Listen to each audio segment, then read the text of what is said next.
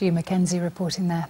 Now, ignore Russell Brand and vote. That's the message to young Londoners just a year until the next general election.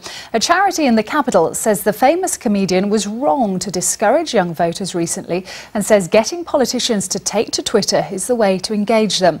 The campaign has won the support of some famous backers. Here's Charlotte Franks. Well, I think you save time and, and resign now. College Green. It's opposite the Palace of Westminster, and it's the place where everybody hears about what's happening in politics.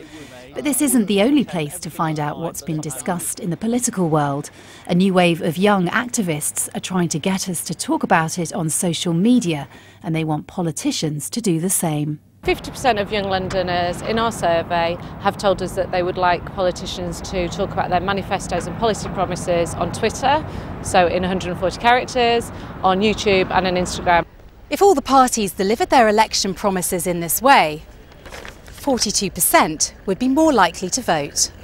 Sophie and Emma feel disengaged with what goes on inside the House of Commons if a politician tweets, it might not have to be specifically about politics, it could be about what they're doing in the day. It really makes you feel like they're more of a human, like we all are. I think that politicians could really get involved in the platforms that young people use. I'm here to tell you that I always vote. The campaigners have been calling on well known celebrities to back them, and they've also been asking young people what would make them vote. Out in College Green, we found more willing participants. It's not the first time politicians have tried to engage with young people. Keith Hill was closely involved in trying to encourage young Londoners to vote. So will it work?